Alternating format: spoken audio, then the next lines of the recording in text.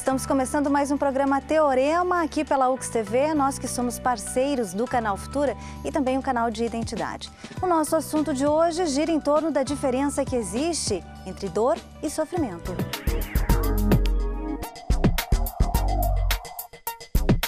A sabedoria popular diz que enquanto a dor é inevitável, o sofrimento é opcional.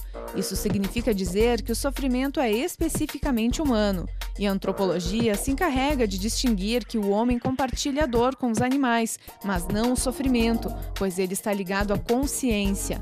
No entanto, como convivemos com o sofrimento e qual atitude devemos ter diante dele? O teorema de hoje questiona: a cura para o sofrimento?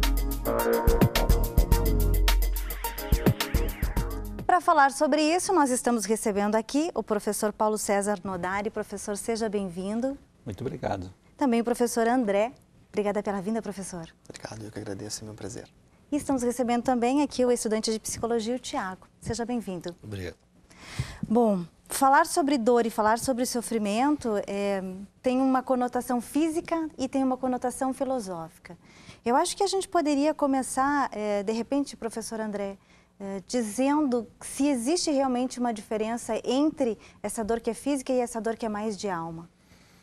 Uh, considerando a minha área de atuação, eu, eu sou oncologista, então trato câncer. E a dor, uh, ela é uma repercussão bastante frequente, especialmente nos pacientes que têm uma doença mais avançada e, e, que muitas vezes adentram num período final da vida por uma doença que já não mais permite a cura. E ao tratador, a gente sempre deve considerar que uh, uma coisa é eu tratar a dor física, oriunda de um tumor que comprime uma determinada terminação nervosa, mas eu certamente não vou satisfazer a necessidade do paciente se eu simplesmente considerar aquela ação mecânica que o tumor uh, exerce sobre aquela, aquela terminação nervosa. Se eu não contextualizar uh, a cena de vida daquela pessoa, se eu não contextualizar o conjunto de experiências prévias que essa pessoa já teve com dor uhum. ou com uma série de outros eventos danosos ao ser humano, eu não vou conseguir bem atender aquele, aquele paciente. Isso a gente chama de dor total. Tem uma professora inglesa chamada Cicely Saunders que já definiu isso no seu envolvimento com cuidado paliativo, onde ela dizia que falar de dor total é falar da compreensão de que aquele paciente, além da dor física, ele pode ter a dor de não compreender por que está abandonando o filho no final da vida, por que está abandonando a pessoa amada, por que está abandonando uma série de circunstâncias prazerosas da vida dele e que geram esse sentimento de dor total. Isso deve ser considerado. Tratar exclusivamente a dor física não vai atender a necessidade dos pacientes. Uhum. Contextualizar uhum. é fundamental. Professor Paulo, como é que a filosofia vê essa questão? Bem, Adriana, não sei se dá para dizer como a filosofia tão só explica, mas talvez nós possamos dizer, em continuidade ao, ao que o professor Adriano, André estava dizendo, é de que a dor ela não pode ser vista tão só como dor física. A dor física é uma das dimensões da dor, mas existe também a dor psíquica, que vai além da dor física, nós poderíamos dizer que existe também uma dor social, que pode ser percebida também como comunhão de outras pessoas que interagem com esta pessoa que está em dor, e também a dor espiritual, que não é tão só a dimensão na perspectiva, digamos assim, da, da dimensão religiosa, mas é uma dimensão espiritual na, na busca da totalidade da compreensão do, do ser enquanto tal. Então, eu diria, num primeiro momento, nós compreendermos que a dor física é uma das partes que é importantíssima. Quando nós não estamos bem com o nosso corpo e sentimos dores, nós também ficamos desconfortados com, como um todo. E nós poderíamos dizer que nós precisamos também superar aquelas compreensões errôneas, em alguns momentos, inclusive, da, da história humana. Por exemplo, há um ditado famoso que diz que quando o corpo sofre, a alma se ajusta. Então, não é nessa perspectiva. Nós precisamos nos compreender enquanto seres corporais e também enquanto seres espirituais. E é evidente que corpo e, e espírito, embora nós possamos também compreender corpo, alma e espírito, há dimensões diferenciadas de compreensão, mas nós poderíamos perceber que a dimensão corporal e a dimensão espiritual devem andar juntas, são duas dimensões da, da mesma pessoa, digamos assim. Então, a grande questão é como compreender a dor. Porque se fosse só a dor física, de repente com, com situações paliativas, poderiam, ao menos, a dor física é, conseguir administrar.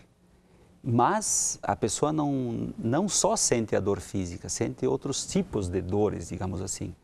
E como disse o professor André, a pessoa precisa também de ser cuidada, zelada em todos os seus aspectos. E há uma, uma compreensão de dor também dizendo que se sofre, se tem dor, quando não se é cuidado. Uhum. Tiago, essa questão da dor psicológica, né? essa dor com que a psicologia também lida tanto, que não necessariamente é física, como é que vocês veem isso?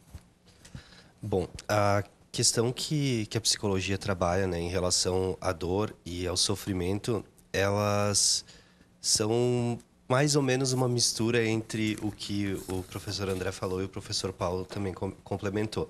Então, a gente entende sim que existe a dor física, né? Ela é, ela é real, ela existe no corpo, é o nosso corpo que, que tem a dor.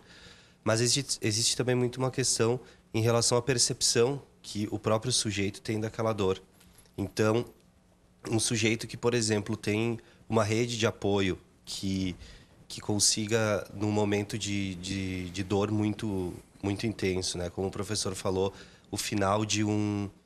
Uh, o final da vida diante uhum. de uma doença crônica, né, ou de uma doença como o câncer, enfim, isso tudo traz para o sujeito uma dor corporal muito grande. Só que a dor psíquica que ele vai sentir, ela vai ser mais relativa à rede de apoio que ele tem, aos cuidados que ele tem, então, em, na relação, por exemplo, espiritual. Então, existem já estudos que falam sobre a questão da espiritualidade enquanto uh, um componente muito importante para uh, não para cura, mas para lida com, com o tratamento de diversas doenças, né? Então, uh, essa questão espiritual, a questão da família, uh, o própria, a própria questão da autoestima, o amor que a pessoa tem por ela mesma, né? Então tudo isso acaba uh, se juntando quando a gente quando a gente pensa na dor que, uhum. que o uhum. sujeito tem diante de uma doença ou enfim. Professor André, bem isso que o Tiago estava colocando, né? O senhor trabalha diretamente com essa questão da dor física, dessa dor que vai acontecendo em vários estágios também. Uhum. É, como é que as pessoas podem lidar com essa dor ou compreender melhor essa dor? E tem uma diferença entre essa dor específica e o sofrimento que advém dela? Uh, com certeza existe uma, uma distinção e, e, eu acho que isso se traduz muito, se eu, se eu pudesse tra traçar aqui um, uma, uma, exemplificação mais prática, uh, mesmas circunstâncias de doença câncer, uhum afetando da mesma forma uma determinada estrutura que desperta dor, vão ser manifestas por pessoas diferentes de maneiras absolutamente distintas. Vou te dar um exemplo. É, eu costumo dizer que as ferramentas de tratamento da dor, que vão muito além do uso de um fármaco, que é importante o seu uso racional, mas é muito além disso. Uma unidade de tratamento do câncer, a forma como esse paciente é acolhido na recepção de um centro de tratamento do câncer, certamente já vai impactar a forma como ele vai manifestar a dor diante de mim no consultório. Uhum. Isso dá a demonstração de quão uh, multiprofissional deve ser o manejo dessa manifestação que é muito individual, ela é absolutamente individual de dor. Eu digo individual porque ela é produto de um conjunto da obra, uhum. que naquele momento está traduzido na dor, mas o que desperta a dor vai ser manifesto de uma maneira absolutamente distinta, dependendo do conjunto da obra. As experiências com a dor prévia, uhum. quão estruturada e apoiada seja essa pessoa e a sua família. Trajetórias serenas, trajetórias uh, saudáveis, nos mais, nos mais amplos uh, uh, espaços onde isso possa ser aplicado na vida de uma pessoa, costumam traduzir uma pessoa que, mesmo diante de uma expressão de dor também carregue consigo mais serenidade, mais conforto, uhum. viveu bem, morre bem. Uh, isso é um, é, um, é um, panorama muito resumido.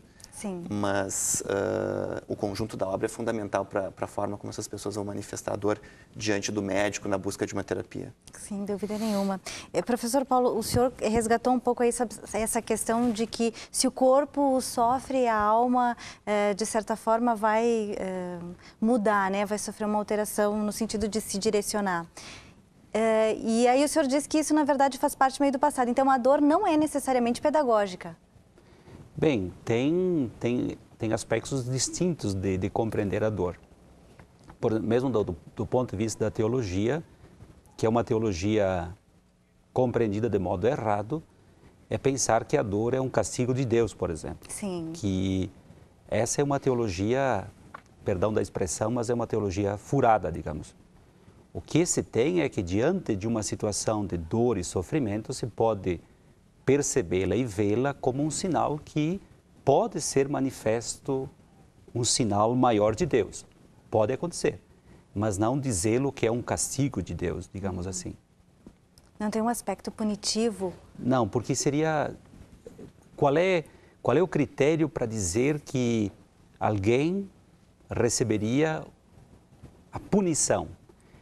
E nós vemos muitas pessoas que, do ponto de vista humano, perceptível, são pessoas extremamente boas.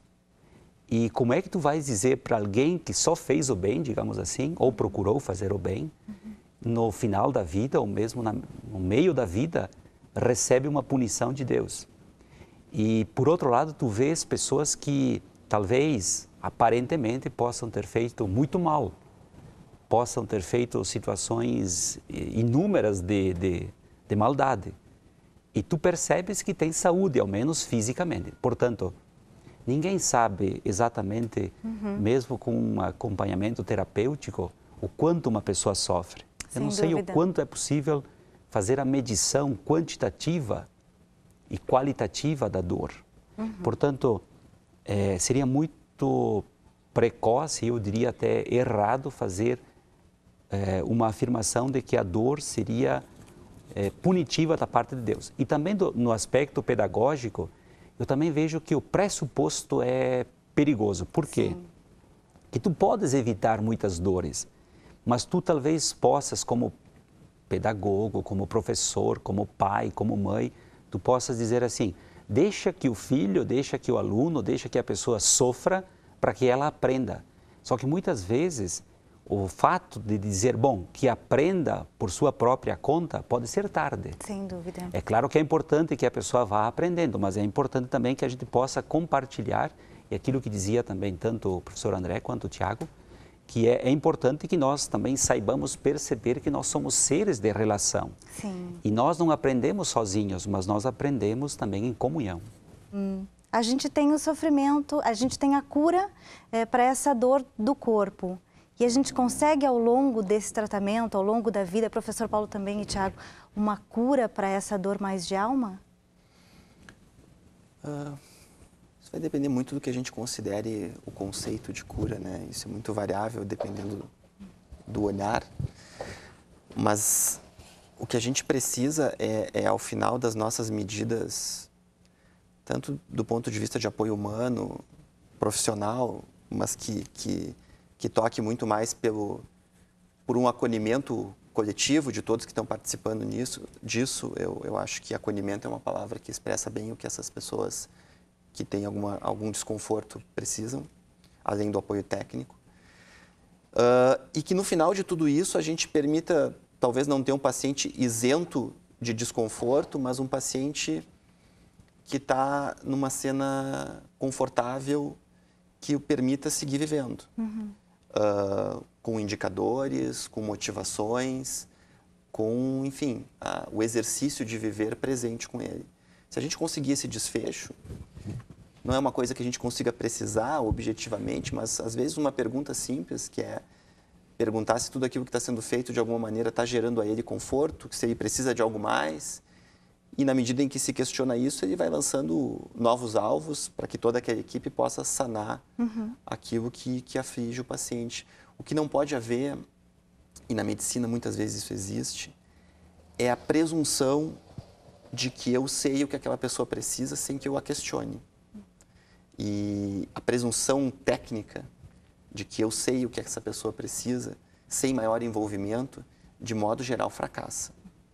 Então, eu sempre digo aos nossos alunos, uh, jamais, jamais desprezem a queixa que um paciente traz, porque vocês já viram no passado pacientes com doenças muito mais graves que não manifestavam daquela forma, uhum. porque esse é o maior equívoco que se pode ter, porque a forma como as pessoas manifestam uh, determinadas uh, sofrimentos que a doença impõe vai ser muito diferente uhum. e vai ser dependente do, do, seu conjunto da obra. Né? Então sentimos dores de forma diferente. Sem dúvida. Uhum. Produto do seu conjunto individual da obra. Professor Paulo. Bem, diante da na pergunta que tu fazias, que era também a pergunta que dirigia este programa e dirige, se há uma distinção entre dor e sofrimento. Eu ousaria, eu não havia pensado assim com mais intensidade, mas eu pensaria e, e diria que a dor e sofrimento há uma distinção. A dor é muito mais física, digamos, é como provém da, da própria etimologia, é algo que nos, nos ocorre e que nos causa uma disfunção, talvez, um desconforto. O sofrimento ele vai além da, da dor física.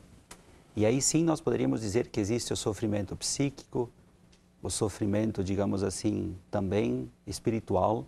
Poderíamos dizer até, se nós quiséssemos, dizer até um, um sofrimento do ponto de vista metafísico.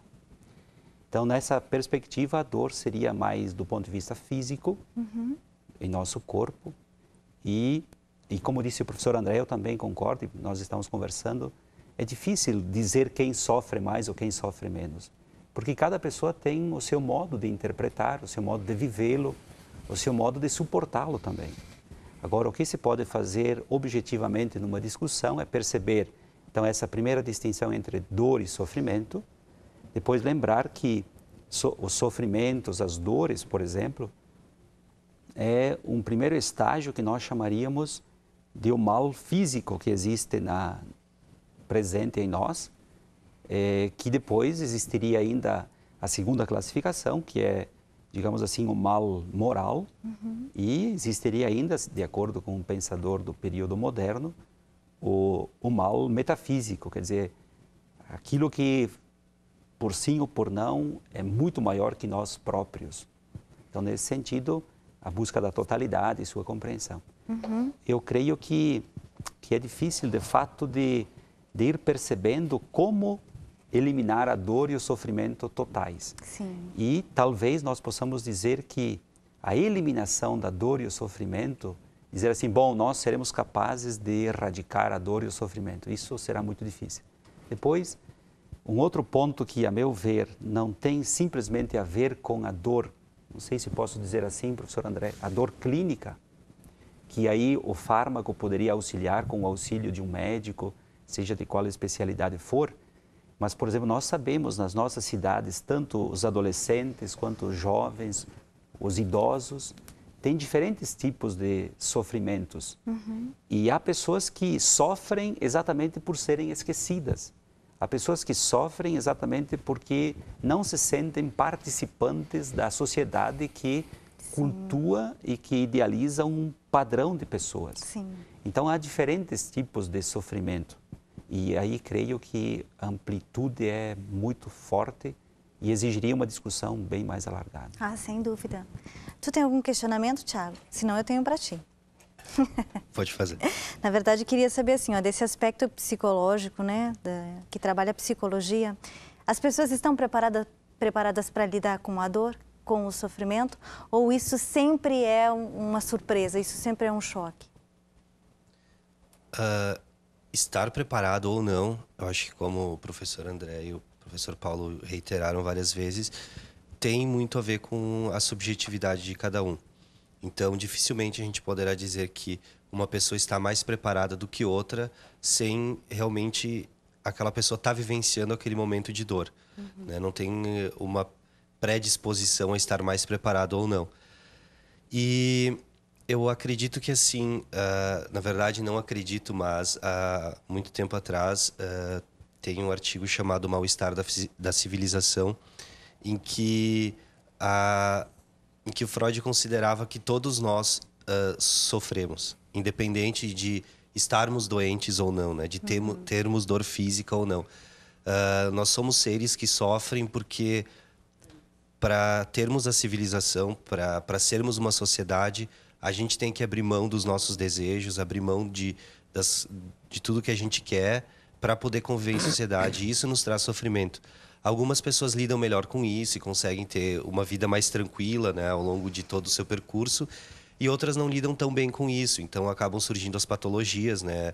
Uh, no nível, então, uhum. das psicopatologias. E também, por que não dizer, de repente, as psicossomáticas, né? Que, que eu acredito que uh, de algumas, algumas décadas, ou se não no último século e nesse, uh, são muito presentes. Como, uh, não quero também falar bobagem, né, professor André, mas como a própria manifestação do câncer, às vezes ela acaba se tornando uma questão somática e, e não talvez só a manifestação dele, mas a, a tomada dele pelo corpo e o desencadeamento e, e o progresso de, progresso de toda a doença também estão a serviço um pouco desse nível de sofrimento daí psíquico, né? Uhum. Bom, gente, infelizmente o programa está chegando ao fim, né? A gente teria, assim, acho que eu concordo com o professor Paulo, a gente teria que ter mais tempo para alargar mesmo as discussões, até porque eu mesma fiquei com vários questionamentos, né? Se pensar mesmo na questão da religião, a gente tem Cristo que está sofrendo na cruz e tem toda uma projeção nesse sentido. A gente tem o aspecto do câncer mesmo e, e, disso que tudo que gira em torno e da dor que também ocasiona as pessoas que estão no envolto. E tem até a questão da própria sociedade, que o professor Paulo tocava, né? Nessa, nesse sofrimento sofrimento social que a gente sente também e essa questão contemporânea de que talvez parece que as pessoas não estão querendo nem experimentar o que é a dor né, nem sentir o que é a dor para poder aprender com ela, se é que existe um sistema pedagógico nisso tudo. Mas é bom isso, né, Adriana? Sim, assim, terá surgem um monte de... de... questões. Bom, eu quero agradecer, professor Paulo, professor André, Tiago, obrigada Obrigado. pela vinda de vocês. Hoje a gente vai ficando por aqui. E a gente volta a se encontrar com certeza numa próxima questão aí levantada pelo programa Teorema. Até!